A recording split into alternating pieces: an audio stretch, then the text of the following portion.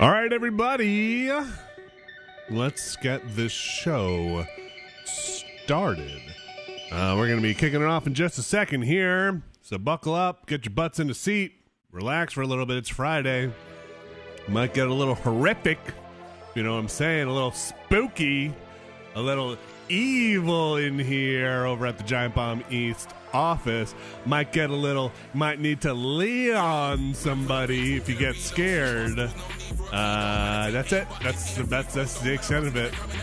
Watch out! It's time when they're shaking their heads, yes, in there. They love it. Whoa! They love it.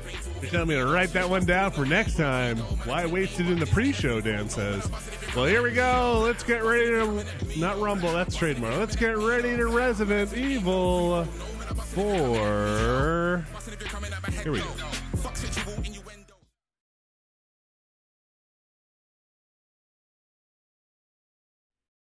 Hello, it's the pre-show. It's the pre-show. We're testing everything out because it's a pre-show. Fellas, do you know what I did this morning? What did you do? What? I ran 5K, Did you? five kilometers, which Nice. is just three miles. Three point two, right? I guess so. I don't know. Yeah, yeah. I like uh, a friend of mine who's very athletic. She invited me. She's like, "We should go running." I was like, "Okay, sure." I woke up at 7:30, so I'm very tired. I don't usually do that.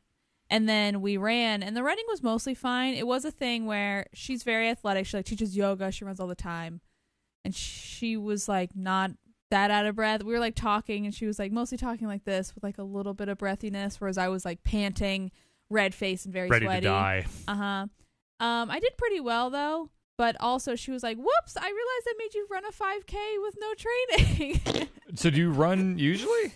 No, Oh, and you did That's a lot. You did a five k. I was fine. I feel fine. I mean, I'm sleepy just because I woke up early, but Five k will get me pretty tired. I, that's what I'm doing a lot You of might running now. You might feel it a little tomorrow. yeah, probably. Congratulations, though. Yeah, yeah. Thanks. seriously, that's for you. awesome. You don't have the thing I have now, where it's like I run a five k and then my knees hurt for two days. No, no, it's okay. Just something to look forward to when you're older. It's great.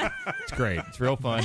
Or the thing where you run a half marathon and then you uh, eat like an asshole and don't. Uh, you put on a lot of weight and then you go back and you try to run the way you used to, but now you've got like 30 pounds of extra weight on it and you give yourself uh, a foot pain for indefinite years going forward that you still struggle with and have to go to physical therapy and have to get like injections and stuff into uh, you know twice a week and it doesn't really fix anything so it still hurts every time mostly when you wake up mostly when it's cold outside uh, you're not uh, you don't have that yet you you might think that sounds really specific, but that's like we all get that. Mhm. Oh, okay. it's great Yeah. Um, I had. a I, I good live in constant pain Me well, too. I had a good time.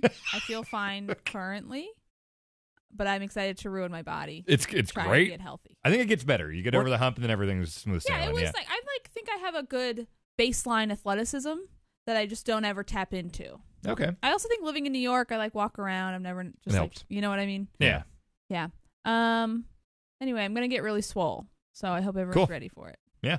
By this time Monday, I'm gonna be ripped. What's up? Maybe like the Hulk. Oh yeah.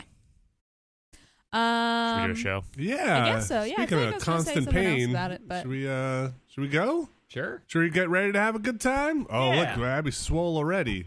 Mm-hmm. Wow, that was so fast. No, wait until Five- Monday. Five thousand. Here we go.